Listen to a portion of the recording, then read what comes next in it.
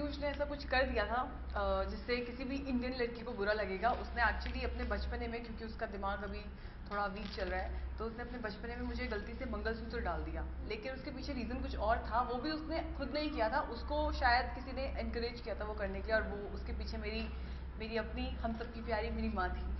बिल्कुल बिकॉज़ अपनी कैसी भी है, वो अपनी मॉम को बस फॉलो कर रही है बट हार्ट से, उसके दिल से वो बहुत अच्छी है, और उसको कहीं ना कहीं बुरा लगा जब उसको रियलाइज़ हुआ कि उसने ज़्यादा तेज़ मार दिया एंड उसको चोट लग गई। फिर उसके बाद जब उसको ये लगा कि नहीं नहीं, ये पूरी गलती उसकी नहीं है, उसकी मॉम ने उसको इनक्रेज किया तो उसने, उसको बहुत बुरा लगा इनफैक्ट और उसने उसकी मॉम से सिमर जी से माफ़ी भी मांगी और फिर जाके मन्नू को मनाया भी। हाँ और बहुत अच्छे से उन्होंने अपना ही ब्लेम जो वो करने जा रही थी, वो बीच में ही पकड़ी गई। तो बहुत अच्छा हुआ कि उनके हाथ में मनी नहीं था या उनसे लॉकर खुला ही नहीं।